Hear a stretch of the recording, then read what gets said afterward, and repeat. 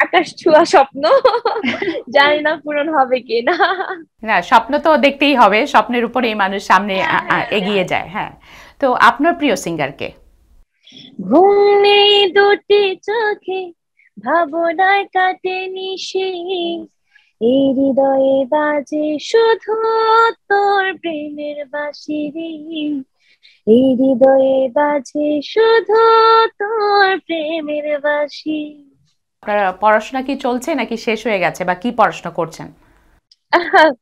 না আমি honours fourth ইয়ারে আচ্ছা আমি একটু ভেবে বলি। Hello viewers welcome to Rupali TV's program music and me আমি ববি আছি আপনাদের সাথে। আর আমার সাথে আছে দৃষ্টি তালুকদার বন্যা। বন্যা কেমন আছেন? আমি অনেক ভালো আছি। আপনি কেমন আছেন? আমি ভালো আছি। বন্যা আপনার তো TV live show channel I Sera Kontho দিয়ে আপনার মিডিয়াতে যাত্রা শুরু। তো সেই সময়টা কেমন ছিল? এটা কোন ইয়ার ছিল? আমি টু থাউজেন্ড টুয়েলভে চ্যানেলে সারাকণ্ঠে পার্টিসিপেন্ট করি। তার মধ্যে আমি টপ ফোর হই। আচ্ছা। তো আমার আসলে গানের জার্নিটা আরও আগে থেকে কিন্তু দেশ এবং দেশের বাহিরে যে গানের যে প্রচারণাটা বা গানের যে শুরুটা সেটা চ্যানেলে সারাকণ্ঠ থেকেই। দেন আমি যখন চার বছর বয়স, তখন থেকেই কিন্তু গান করি। চ্যানেলে সারাকণ্ঠ পার্টিসিপেট করার আগেও আমি অনেকগুলো প্রতিযোগিতাতে ছিলাম। তো ধাপে ধাপে লাস্ট অডিশনটা ছিল আমার চ্যানেল ইশারা কণ্ঠ তো তারপর থেকেই যখন ইশারা কণ্ঠে টপ ফোর হলাম দেন তারপর থেকে অ্যালবাম করছি বিভিন্ন চ্যানেলে লাইভ করছি পাশাপাশি স্টাডিতে আছি এই হচ্ছে আর কি। আচ্ছা। তুমি আচ্ছা আমি আপনার অ্যালবাম সম্পর্কে শুনব কিন্তু তার আগে জানতে চাচ্ছি এই যে টিভি রিয়েলিটি শোগুলা যে হয় এই যে প্রসেসটা ধাপে ধাপে আসার ফোর্থ পর্যন্ত আপনি এসেছিলেন একদম কাছেই চলে আসছিলেন তো এই শুরুটা কীভাবে এই প্রসেসটা কীভাবে শুরু হয়? এটা আসলে বিভাগীয় প্রথমে এটা বিভাগীয় থাকে। আচ্ছা। প্রথমে ধরেন যে ওদের একটা এস এম এস এর একটা ব্যাপার থাকে যেটার মাধ্যমে রেজিস্ট্রেশন করতে হয়। আচ্ছা। রেজিস্ট্রেশন করার পরে ওদের একটা ডেট থাকে যে এই ডেটে সিলেট জেলাতে এসে ওরা অডিশন নেবে প্রতিযোগীদের জন্য। দেন আমার একটা আসলে এটা একটা মজার ব্যাপার ছিল হচ্ছে আমি তখন আহ, একদমই ছোট ছিলাম দুই হাজার বারো সালে আমার বয়স বারো বছর। তো যেখানে চোদ্দ বছর থাকার কথা চোদ্দ বছরের উপরে যারা আছে তারা পার্টিসিপেট করতে পারবে। বারো বছর আহ, এটা আসলে হয় না। আচ্ছা আচ্ছা। আহ, তারপর আহ, মজার ব্যাপার হচ্ছে কি যে আমিও আসলে এই ব্যাপারটা জানতাম না যে ওনারা অ্যাড দিচ্ছে টিভিতে যে বারবার প্রতিযোগীরা পার্টিসিপেট করতে পারবেন। আমার পাশের বাসার একজন আন্টি ছিলেন যিনি আমাকে উনি ওনার হাজবেন্ড মুড়ি কিনে নিয়ে আসছে খোলা মুড়ি যেটা বলে আর কি। তো আচ্ছা। ওইটার মধ্যে কাগজ ছিল পত্রিকাতে ওরা নিউজটা দিয়েছিল আর কি চ্যানেলাই তো তখন পত্রিকাতে নিউজটা ছিল যে চ্যানেলাই সারাকণ্ঠের অডিশন চলছে। আহ, যদি কোনো প্রতিযোগী অডিশন দিতে চায় তাহলে এইভাবে এস এম এস করতে হবে দেন রেজিস্ট্রেশন করতে হবে। তো আচ্ছা। পাশের বাসার আন্টি আমাকে ডেকে বলছে যে বন্যা তুমি এটাতে পার্টিসিপেট করে দেখো। তুমি তো অনেক ভালো গান করো। দেন আমার মনে হয় হয়ে যাবে। আমার এই বিষয়টাতে তেমন একটা একটা আগ্রহী ছিলাম না। কারণ তার আগেও আমি দুই থেকে তিনটা অডিশনে কিন্তু আমি পার্টিসিপেট করেছিলাম। কিন্তু আমার হয়নি। তো না হয় আমি এই ব্যাপারটাতে একদম আগ্রহী না। মানে বারবার যখন আহ, হেরে যাচ্ছি তারপরে এইটাতে আর আমার কোনো একটা ইয়ে নাই। ইন্টারেস্ট একদমই ছিল না। পরে আমি যেদিন অডিশন আমার বড় বোন ও বলতেছে না না বোন না দিবে দিবে। এটা হয়ে যাবে হয়ে যাবে। ও রেজিস্ট্রেশনটা করে ফেলে। আমার অমতে আমার মত ছিল না। পরে যেদিন অডিশন যেদিন আমার কোনো প্রিপারেশন নাই কোনো কিছুই নাই। একটা তো থাকে যে একটা অডিশন দেন রিহার্সেল করতে হয় এই সেই। আমার কোনো প্রিপারেশন নাই কিছু নাই। তো যেদিন আমার অডিশন সেদিনও আমি বারোটা পর্যন্ত ঘুমে। মানে উঠতেছি না একদমই বিছানা সেরে উঠতেছি না যে আমি যাব না। আহ, তারপর জুড়ে জোর করে নিয়ে যায় নিয়ে যে আমার কপালটা ভালো ছিল লাকটা ফেভার করেছিল তখন যে আমি সরাসরি ডিরেক্টর আমার অডিশনটা নিয়েছিলেন। যিনি চ্যানেলের সেরা সেরাকন্ঠের ডিরেক্টর? কে ছিলেন? উনি আমাকে তখনই। এটা ছিল ছিলেন হচ্ছে ইজাজ খান স্বপন। আচ্ছা, আচ্ছা। তিনি চ্যানেলের সেরাকণ্ঠের খুদে গান্দাজ সেরাকণ্ঠ সেগুলোর ডিরেক্টর তিনি। তো তিনি আমাকে বললেন যে এত ভালো গান করো তুমি আগামী বছর ট্রাই করো। তুমি তো ছোট এখন ছোট। আমি যদি তোমাকে নিয়ে যাই তাহলে সিলেটের মানুষ আমাকে আসতে রাখবে না। কারণ এটা তো একটা বেআইনি। তোমার বারো বছর যেখানে চোদ্দ বছর চোদ্দ বছর লাগার কথা। তো তো তখন আমি বললাম যে না আমার তো হবে না আমি আগামী বছর যেতে চাই না। আমি গেলে এই বছরই যাব। আমাকে এই বছরই নিয়ে যেতে হবে। তো এখানে অনেক কথাবার্তা আসলে ফানি কিছু মোমেন্ট ছিল। তারপর উনি আসলে আমার ফ্যামিলি ব্যাকগ্রাউন্ড সম্পর্কে জানতে চাইলো। আমার তখন আমি বললাম যে আমার পাঁচ বোন বাবা নেই। তো উনি কিছুটা ইমোশনাল হয়ে যায় আমাকে মেয়ে বানায় তখন যে তোমার বাবা নাই আমি তোমার বাবা। তো সেই থেকেই জার্নি। সেখানে তিনজন বিচারক ছিলেন পুরুষ বিচারক শ্রদ্ধেয় সুজিত মুস্তফা স্যার অনুপ বড়ুয়া স্যার। তো তিনজনই আরেকজন ছিলেন হচ্ছে ফাতেমাত জোহরা ম্যাম শাম্মি আক্তার প্রয়াত। তো সবাই আমাকে মেয়ে বানায় তখন। এই হচ্ছে আমার জার্নি।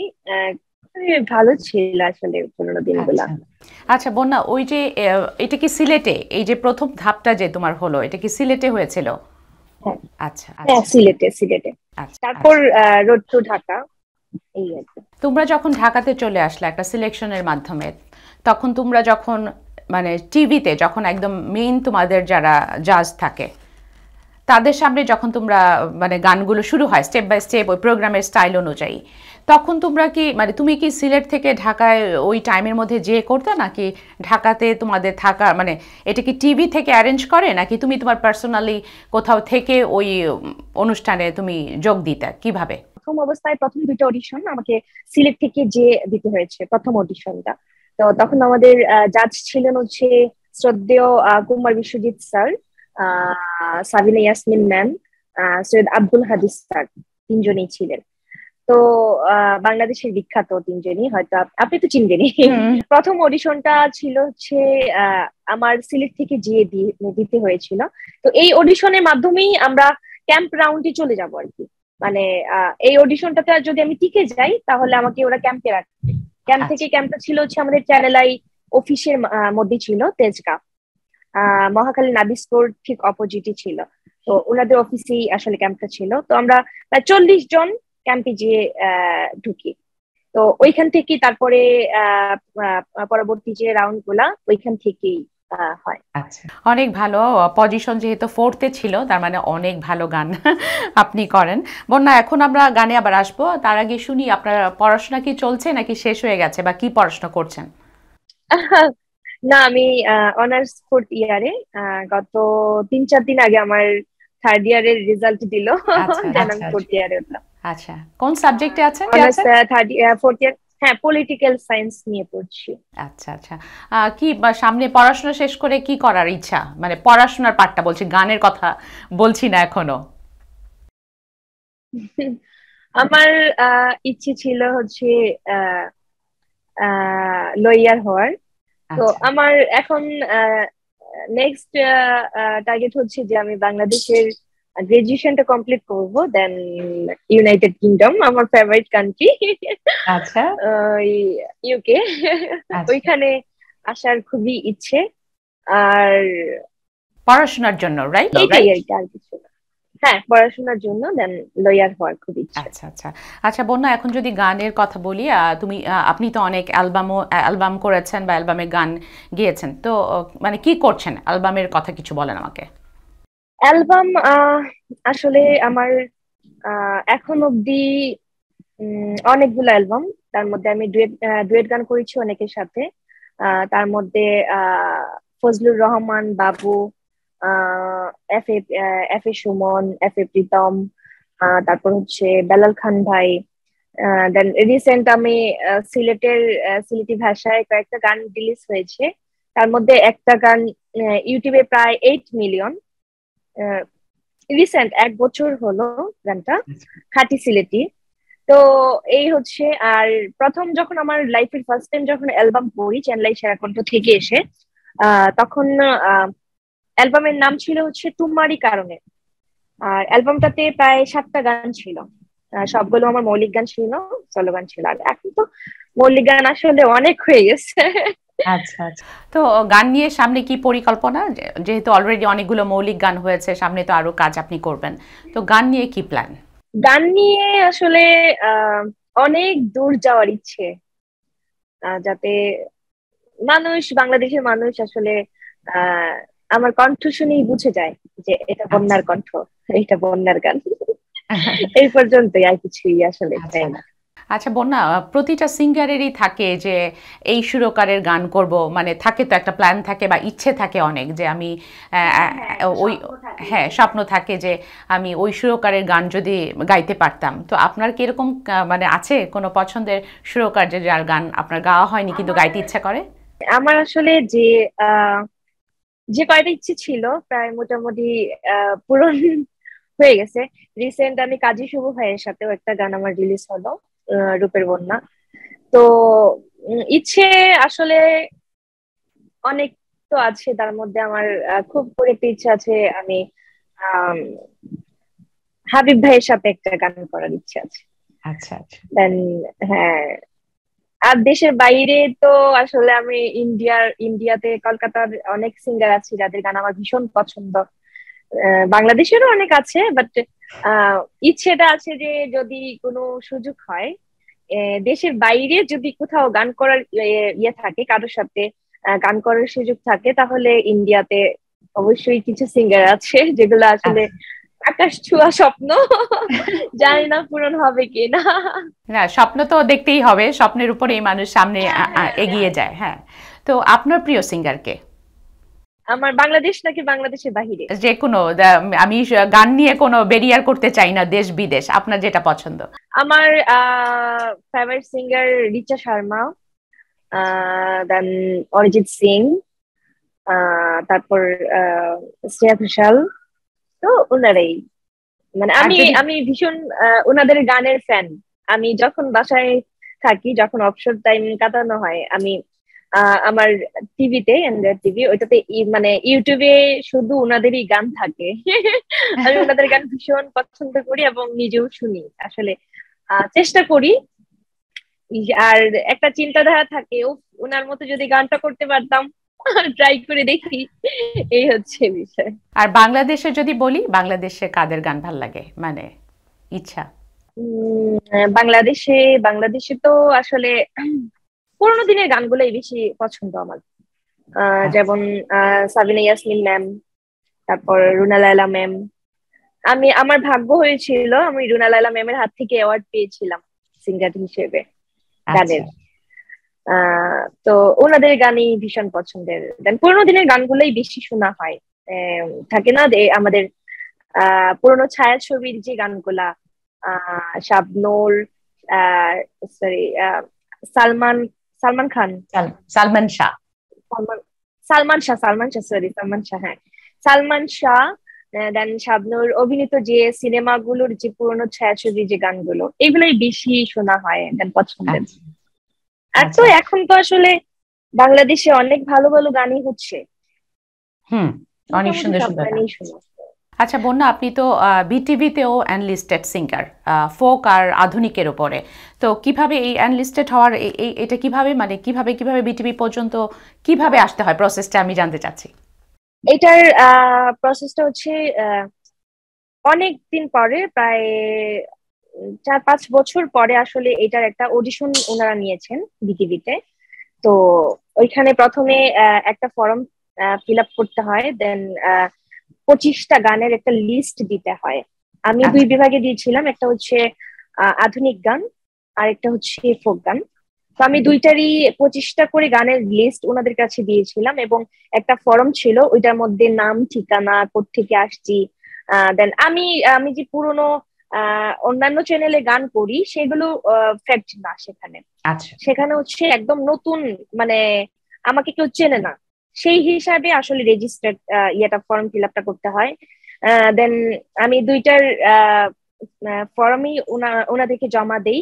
তারপর একটা অডিশনের ডেট ফেলা হয় তখন যে ওখানে অডিশন দিই প্রথম অডিশনে টিকে যাই। পরে সেকেন্ড আরেকটা অডিশন নেওয়া হয়। প্রথমটা নেওয়া হয় ভয়েসের উপরে ডিপেন্ড করে। আর পরেরটা নেওয়া হয় আসলে অঙ্গভঙ্গি যেটা। ক্যামেরা ভ্যালু যেটা ফেসের উপরে নির্ভর করে যে আমার এক্সপ্রেশন কেমন গানের। আচ্ছা। আমি যে গানটা করছি সেটার এক্সপ্রেশনটা কেমন। তো সেই হিসেবে পরে দেখা আমি দুইটাতেই টিকে যাই। আচ্ছা। আচ্ছা স্টেজ প্রোগ্রামও তো করছেন আপনি। স্টেজে প্রোগ্রাম করছেন না? স্টেজ শো করছেন। স্টেজে তো শো করেন। আচ্ছা আপনার মৌলিক গান তো অনেকগুলো। তো ওইখান থেকে মৌলিক গানগুলো থেকে একটা গান কি কিছু লাইন কি আমাদের শোনানো যাবে? হ্যাঁ অবশ্যই শোনানো যাবে না কেন? আচ্ছা আমি একটু ভেবে বলি। কোন গানটা গাওয়া যায়? ফোক সং করতে পারেন। হ্যাঁ হ্যাঁ ফোক সং করছি। পাগল তোর জন্য এমন তুই কি বুঝিস না? তোর নিয়ে স্বপ্ন আঁকি সুখের আলপনা। পাগল তোর জন্য এমন তুই কি বুঝিস না? তোর নিয়ে স্বপ্ন আঁকি সুখের আলপনা। ঘুম নেই দুটি চোখে, ভাবনায় কাটে নিশি। এই হৃদয়ে বাজে শুধু তোর প্রেমের বাসি এই হৃদয়ে বাজে শুধু তোর প্রেমের বাসি আসলে অনেক গান। কোনটা গাইবো কোনটা না? এই হচ্ছে বিষয়। অনেক সুন্দর। বন্যা আমরা একদম অনুষ্ঠানের একদম শেষ পর্যায়ে আসছি। আমার ভিউয়ার্স সম্পর্কে কিছু ভিউয়ার্সের জন্য কিছু বলতে চান? কিছু বলতে চাইলে বলতে পারেন।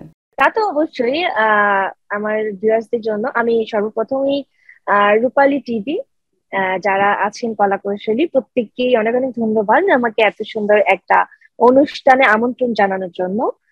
দেন আপনাকে ভীষণ মিষ্টি আপনি এবং ভীষণ সুন্দরভাবে উপস্থাপনা করেন।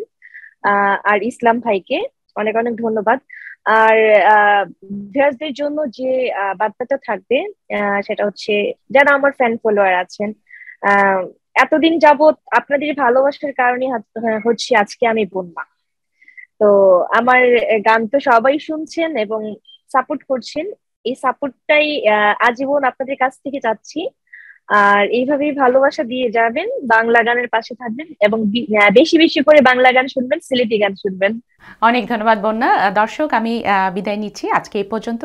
পরবর্তীতে আমি আবার আসব অন্য কোনো গেস্টকে নিয়ে। ততদিন পর্যন্ত সবাই ভালো থাকুন।